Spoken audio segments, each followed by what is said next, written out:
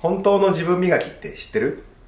自分磨きっていうといろんな資格を取ったりとか外見とか内面を磨いていくっていうふうに思われがちなんだけども実は本当の自分磨きというのは赤ちゃんに戻ることです。今まで頑張って自分をよく見せようとか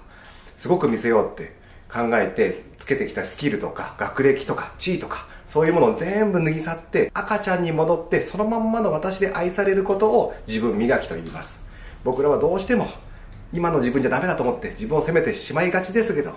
赤ちゃんに戻ってそのまんまの私で愛されるようになりましょう。